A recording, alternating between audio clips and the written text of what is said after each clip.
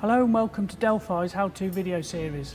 Today I'm going to show you how to bleed the ABS system using the Delphi DS diagnostic tool. Anytime the brake lines are opened, air will be introduced to the system. Whether it's changing components like calipers, wheel cylinders, master cylinders or ABS units, air will always be introduced. Air in the system will cause an imbalance and a spongy brake pedal, so the air must be removed. Bleeding brake should be part of every brake job. Delphi recommend you change the brake fluid before you do any brake work. This is so that you don't push any debris through the system and cause future damage. Before starting, it's important to clean the reservoir of the brake mass cylinder. Small particles of dirt will cause damage to mass cylinders and ABS actuator modulators. Failure to keep hydraulic systems completely clean will always shorten their service life.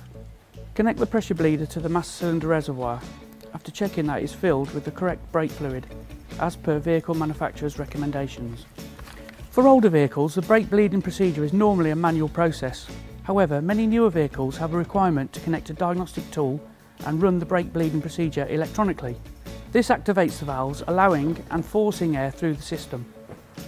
Now we need to just start the car and connect the DS diagnostic tool.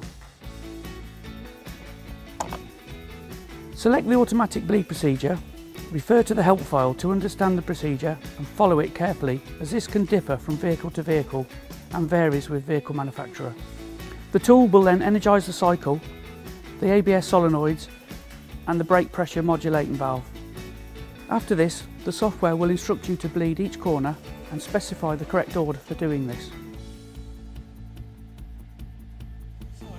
During this step, the pump runs and the respective release valves cycle. This is repeated for each corner. The bleed nipple will have to be opened and closed in turn. Remember to collect the discharge fluid in a suitable container. Relieve pressure at the brake tool and remove it from the master cylinder. Then check the brake pedal to make sure all the air is removed. There is no excess travel and the pedal is firm. The brake bleeding tool should keep the fluid level topped up.